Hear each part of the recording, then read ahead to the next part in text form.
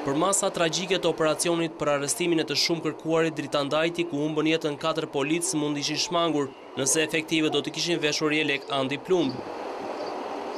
Kjo është simbolika e zgjedhur nga ambasadori amerikan në Tiranë Aleksandër Arvizu për të theksuar rëndësinë e dhurimit të mbi treqind jelekëve antiplumb nga Garda Kombëtare e Nju Xhersit. Jelekët dhe helmetat do t'i shpërndahen trupave RENEA, FNSH-së dhe atyre të operacioneve speciale. Ministri i Brendshëm Saimir Tahiri tha gjatë ceremonisë së mbajtur në ambientet e Ambasadës Amerikane në Tiranë, se vullneti i qeverisë së re është goditja e personave që deri dje konsideroheshin si të paprekshëm. Për të respektuar dhe për të induktuar barazinë para ligjit dhe mbi të gjitha, në Shqipëri, për të shembur në mënyrë definitive murin e pandëshkueshmërisë dhe murin e të paprekshëmve. Vlera e materialeve të dhuruara shkon në rreth njëqind e gjashtëdhjetë mijë dollarë.